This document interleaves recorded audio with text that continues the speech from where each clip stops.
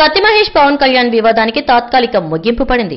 ఎందుకో ఏమో కత్తి మహేష్ రాజీకొచ్చారు. జనసేన నాయకులతో కలిసి శాంతి చర్చలు జరిపి ఇక నుంచి పవన్ కళ్యాణ్ వ్యక్తిగతంగా దూషించనని తాను గొడవలకు పోనని మీడియాకు చెప్పడం సంచలనమైంది. ఇంతకీ పవన్కు కత్తి మహేష్కు మధ్య రాజీ ఎలా కుదిరింది?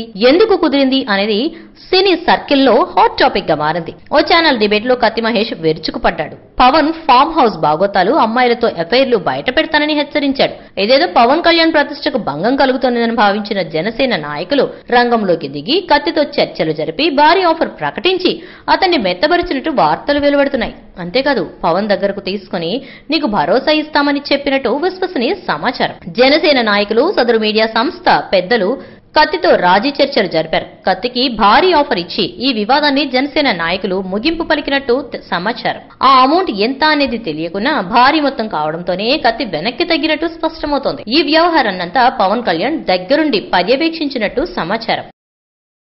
ఈ వీడియోపై మీ విలువైన కామెంట్స్ని మాతో షేర్ చేసుకోండి. అండ్ ఇంకో విషయం సబ్స్క్రైబ్ చేయడం మర్చిపోకండి.